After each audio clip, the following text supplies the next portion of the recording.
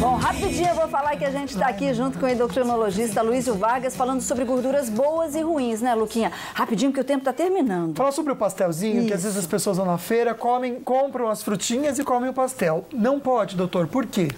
Vai entrar de novo, a questão é a massa do pastel. O que, que é? É carboidrato. Então virou de novo aquela briga. Eu aqueci o carboidrato acima de 120 graus, acrilamida. Câncer de novo nessa brincadeira. Uhum. E a questão da compulsão que esse carboidrato vai gerar. É de novo fugir. Gordura não é fritura, não é pizza, não é nada disso. É que a gente pontua sempre isso como sendo gordura. Entendi. Mas forte. Agora, rapidinho, sim ou não? Queijo?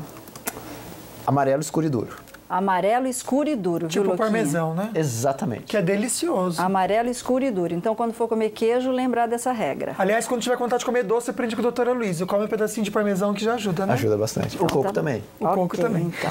Doutora Luísio, infelizmente o nosso tempo acabou, tá Ah. rapidinho, né? A gente se empolgou aí nas fotos, então acabou o nosso tempo. Mas o senhor vai voltar, se Deus quiser, pra gente falar de muitos assuntos sobre a nossa saúde. Um prazer viu? sempre. Obrigado Obrigada.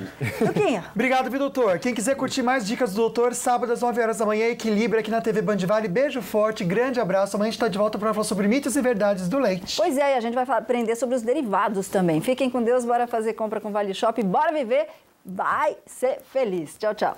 Her body's hot. Her body's like the summer.